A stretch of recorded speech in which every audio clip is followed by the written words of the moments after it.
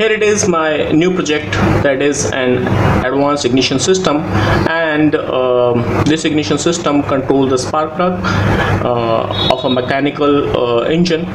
And uh, this wheel is uh, having 18 teeth and one missing and one missing teeth will indicate the piston position and uh, we'll be able to calculate the speed of the motor by using these all slots.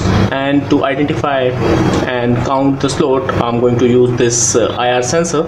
And uh, this IR sensor transmit and receive the IR signal and as per the IR signal it identifies that the teeth is there or not. When it rotates it counts and it identify the RPM and motor speed.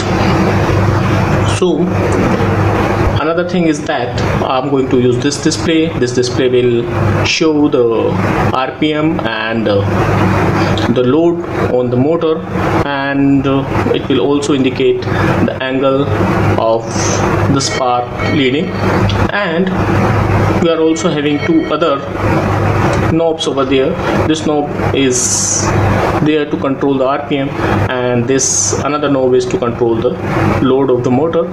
And here you can see we are having some points this first one is to provide the power supply 12 volt power supply to this whole project.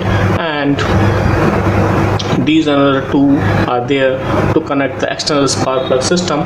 So uh, while we connect the external spark plug we can connect the ground over there and we can connect the spark plug signal over there. So it will provide the signal to the spark plug to spark and we'll be able to see it practically. Another thing is that that uh, to control the speed of this motor uh, we can control from there and uh, this uh, knob is being verified by the Arduino Nano. I'm using two Arduino Nano over there. One is main and another one is auxiliary. This auxiliary uh, Arduino Nano control the motor speed and uh, this is also going to indicate the angle of spark plug leading and it is just controlling uh, servo. It is just indicative. This servo will indicate the angle. And to control the motor I'm using a motor controller that is L298N based motor controller and it is the project. And this also uh, having a small LED and uh, it indicate the RPM or you can say speed of the spark. Just it is an indicative because the RPM are too high 2000 10000 RPM and if we blink this LED that much high speed it will not be identified by the naked eye and it will be looking like uh, always on. So I have reduced the speed.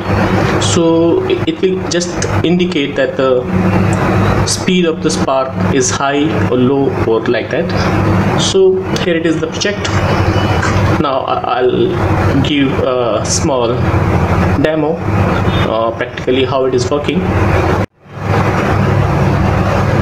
Here it is in this project. I'm going to use the Arduino interrupts and as I told you that uh, this wheel rotates from 2000 to 10,000 RPM and uh, these all uh, slots on this wheel will allow us to measure the speed of this wheel.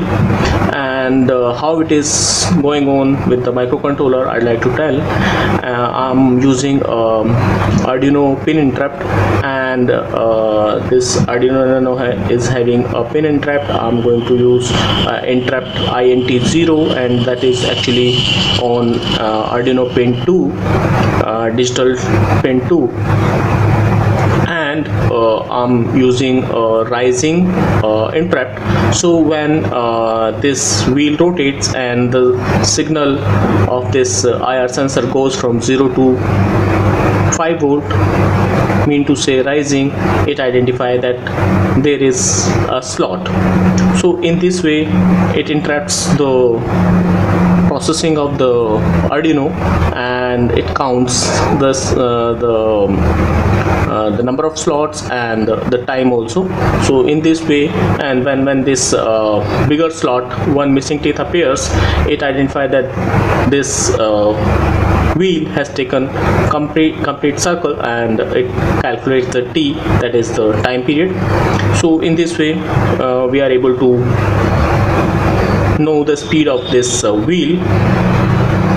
And I'm also using an another interrupt that is a timer interrupt. I'm using timer 1 uh, for this. And uh, this timer 1 interrupts is uh, controlling the spark. So whenever uh, it also uh, calculate the load and RPM and as per the load and RPM we are having a table and as per this table we are having load and rpm and accordingly we know how much angle is leading for the spark. So uh, in this table we'll also average out and calculate the uh, values in between. And by using this table we are controlling the spark plug angle and that is leading by a certain degree. And I'll, I'll show this on this display also and this uh, servo will also indicate that how much angle is leading. So now I'll I'll give you a practical demo how it is working now here I'm going to connect a power supply and that is 12 volt 5 ampere power supply I'm, I'm having with me. And uh, you can see uh, I'm going to connect the power supply from this power source. So and I also placed this to banana jack and from this to banana jack we can further connect the spark plug system. So practically we'll be able to see the spark. And now I'm going to power up this project. And uh, here you can see uh, it is showing the RPM and load and as well as the lead angle.